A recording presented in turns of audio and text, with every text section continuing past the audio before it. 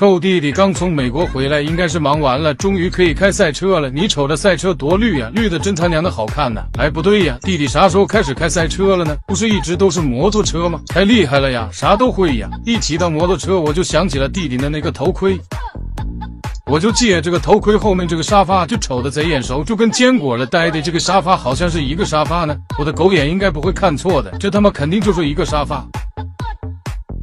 但是你说它不是吧，也有你的道理。你觉得可能它是同款沙发呢，对不对？但是后来我们又发现一个致命的证据是啥呢？你们看这个头盔里面这个倒影啊，是不是有一只猫的倒影？仔细看这只猫，你就会发现它跟坚果他妈简直一模一样。这到底怎么解释呢？难道臭弟弟也有一只一样的猫咪吗？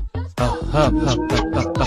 有的时候我就想，我们可能都是傻子。人家俩人都暗示我们这么长时间了，就是想让全世界都知道他俩真的在一起了。可是这么多证据摆在面前，好像好多人还是磕不到，包括我以前也是，我当时就他妈是个大傻子啊。